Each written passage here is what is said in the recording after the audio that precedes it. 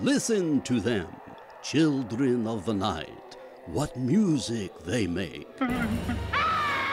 Since that very first flicker of projected light, for a few precious hours, cinema audiences have escaped the bonds of harsh reality and bravely ventured forth to face the thrills, enchantment, and terrors of the unknown. Midnight Madness, the history of horror, sci fi, and fantasy films, takes viewers on a fast paced chronicle of fantastic films from the golden age of Universal Studios and the emergence of fantastic films as big budget hits that help push box office figures through the roof. See the version TV didn't dare show. No one admitted except at the beginning. Psycho, rated M.